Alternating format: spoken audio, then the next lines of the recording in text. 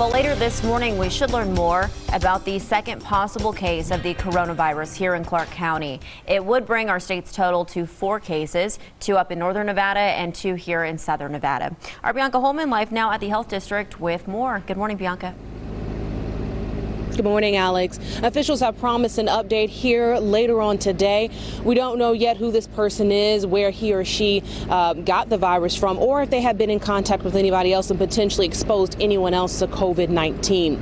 Now, this is a presumed case because it has yet to be confirmed by the CDC. We again are waiting to uh, those results yet. Over the weekend, Nevada Governor Steve Sisolak addressed the Nevada cases. He said more testing is happening at the state's two designated public labs and that testing would expand to commercial labs such as Quest and LabCorp.